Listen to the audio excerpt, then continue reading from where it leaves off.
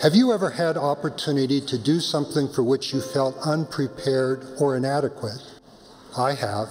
Some years ago, Elder Richard G. Scott kindly invited, Would you like to watercolor with me?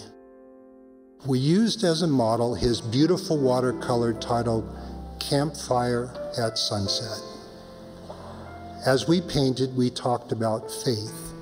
How, as we face the light and warmth of a campfire, we leave the darkness and uncertainty behind us. How, on sometimes long, lonely nights, our campfire of faith can give hope and assurance.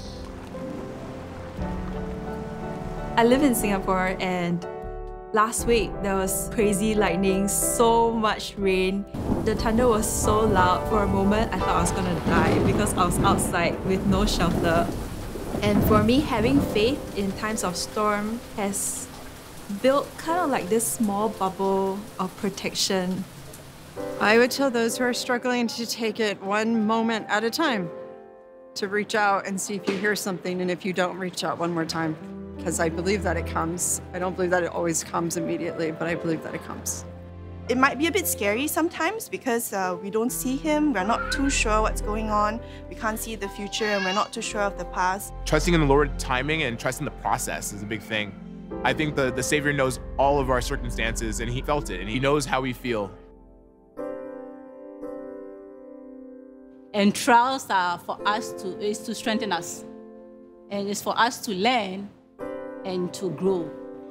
I think the first step to faith is, first of all, to find out about Jesus Christ. Because if you don't know um, what it is that He can offer and you don't know what He's about, then probably why would you even want to have faith? It's hard to completely understand what the Savior went through, but uh, when I do feel stress or when I am struggling, that's when I think you start to understand really the magnitude of what He's gone through. So I pray to Him just like talking to another person. Though I don't see Him, I know that He is there and listening. And therefore, I open up my heart and say whatever I, I want to talk to Him about. I'm not the kind of people who will sit and do nothing about things. So having faith is to take action. So, what I've learned from that is that you just commit. That once you get the answer, you commit to it, and that even when it gets hard, you stay committed to it. He's the Prince of Peace, and um, I think peace is one word that that I can definitely say that he brings to me. I think that every day you just have to keep on trying to be better than you than you were yesterday. And as you do that, you can always see progress and, and you'll see happiness each day. And the dawn does come. Our campfire faith, our memories, experiences, and heritage of faith in God's goodness and tender mercies in our life has strengthened us through the night.